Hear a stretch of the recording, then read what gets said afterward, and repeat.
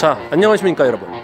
제7회 시청자 custom 토너먼트 예선전 그룹 A 첫 번째 게임 멜타님의 조합입니다. Imperial Valkyrie Sting Extend Plus.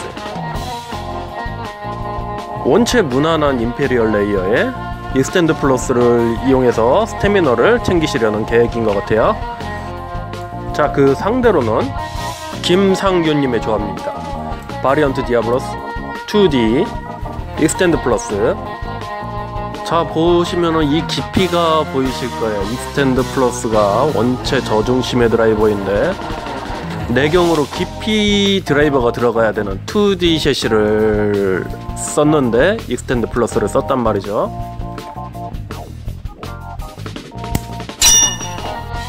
자 어떤 결과가 나올지 볼까요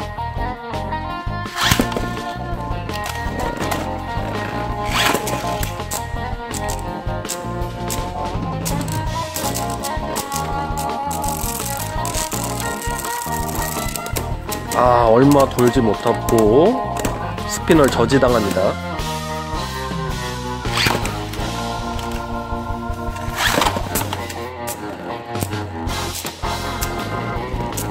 보시면 2D chassis의 너비가 넓고 Extend Plus의 높이가 너무 낮기 때문에 금방 자세가 기울어지면 이렇게 멈춰버립니다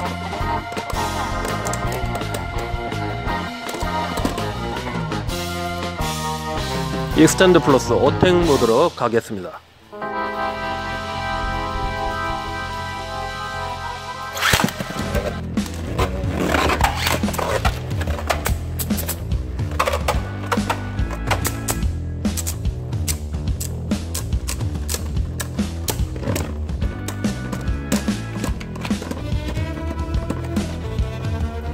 자 Imperial Valkyrie 무난하게 본선에 진출하게 되었습니다.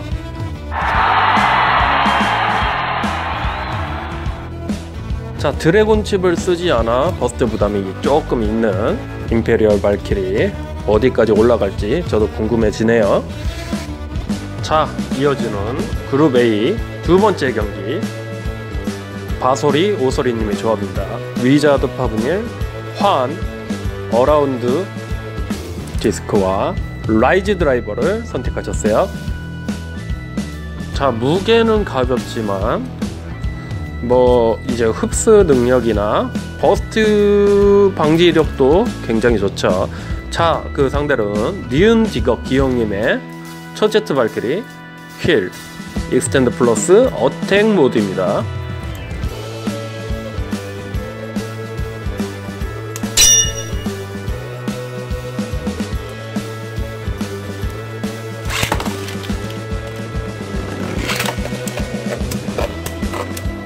아 약간 이제 가벼운 무게 때문에 아 휘둘리다가 over finish를 내어주는.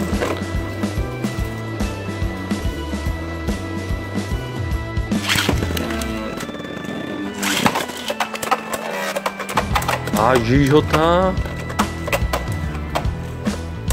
유효타는 꽤 넣고 있으나 오버전으로 밀어 넣지를 못하고 있는.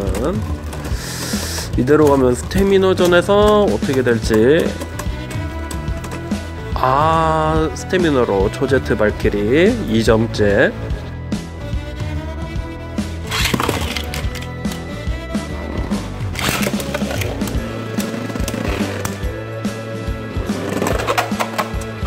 아 궤도를 벗어나서 self over finish.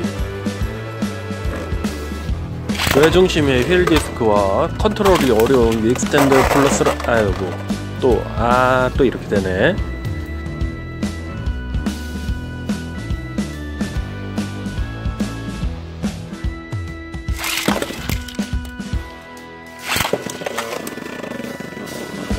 자, 큰, 아, 큰 공격 들어갔으나 여기서 카운터.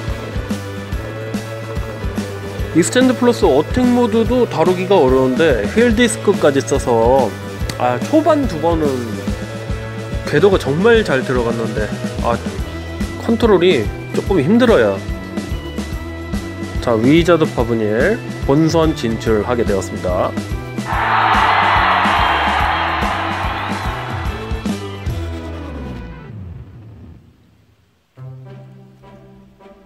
자 어느덧 벌써 7회째 토너먼트가 시작되었는데 어 저도 벌써 이렇게 빨리 진행이 될 줄은 몰랐어요. 자 저는 예선 그룹 B조 영상으로 다시 돌아오겠습니다